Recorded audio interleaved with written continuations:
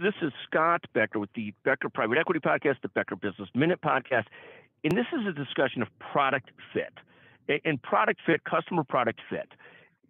This is the issue, and I'm, and I'm, I'm going to talk a lot about uh, one of the leaders I get to visit with regularly, Sanjeev Agrawal, the COO and president of LeanTaaS, this magnificent company in the healthcare technology space that provides a service, sort of, uh, you know, operating room management technology for hospitals and health systems and for for oncology and for other areas.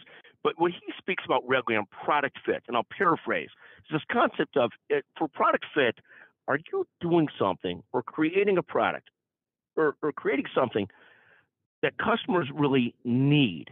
You're really solving a problem for them. Or are you a want to have versus a need to have?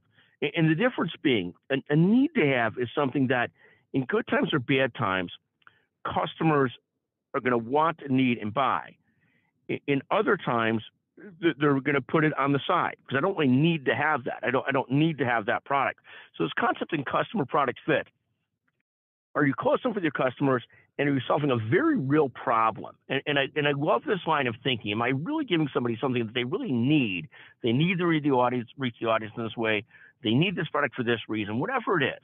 Am I really solving a product or am I just doing something that I love to do?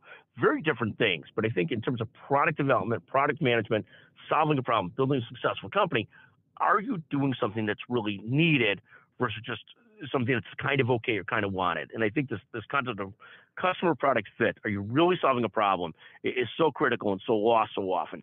Thank you for listening to the Becker Business Minute, the Becker Private Equity Podcast.